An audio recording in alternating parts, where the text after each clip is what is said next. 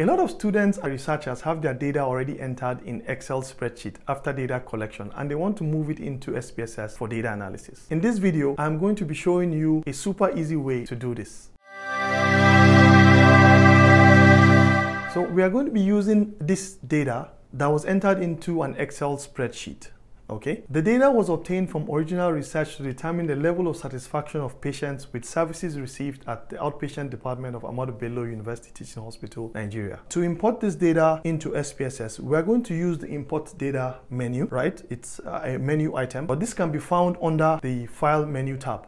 So we click on file, then import data. Here you can see that SPSS can accommodate data from various software such as SAS, Lotus, etc. But today we're going to be dealing with Excel. So we just click on Excel.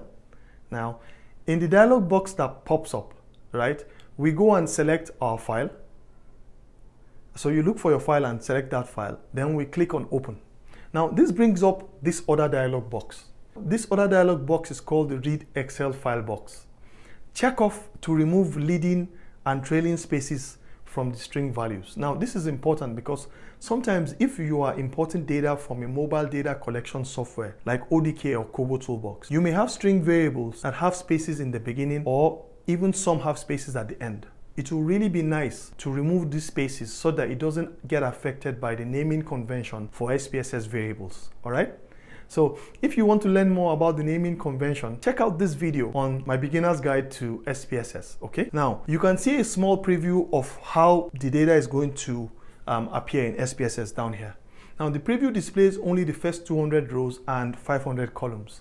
Once you are through with these settings, just click on OK and voila! Congratulations! Now you have your data in SPSS and you can go ahead and clean and run any form of analysis you like, but not so fast don't forget to save, right?